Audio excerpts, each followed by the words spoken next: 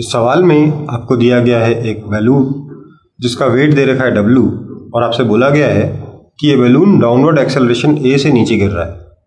आपसे पूछा गया है कि इस बैलून पे एयर कितना फोर्स लगा रहा होगा। तो मान लेते हैं कि एयर जो इस पर फोर्स लगा रहा होगा, वो है आर तो ऐसे में जो इसके ऊपर नेट फोर्स हो गया डाउनवर्ड डायरेक्शन में, अगर मैं डाउनवर्ड को पॉजिटिव ले लूँ अपवर्ड को नेगेटिव ले लूँ तो मैं लिख सकता हूँ डाउनवर्ड डायरेक्शन का नेट फोर्स कितना है? डब्ल्यू माइनस आर तो इसलिए मैं इक्वेशन लिख सकता हूँ। W minus R is equal to mass into acceleration अब मास कितना होगा? वेट डब्ल्यू है। तो डब्ल्यू कितना होता है? एम जी के बराबर। दिस इंप्लाइज मास कितना हो गया? डब्ल्यू बाय जी के बराबर।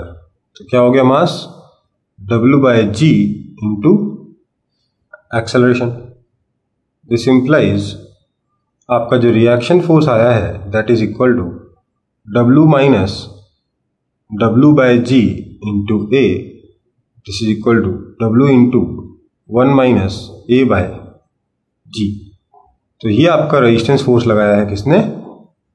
एयर ने. ये आपका आंसर है।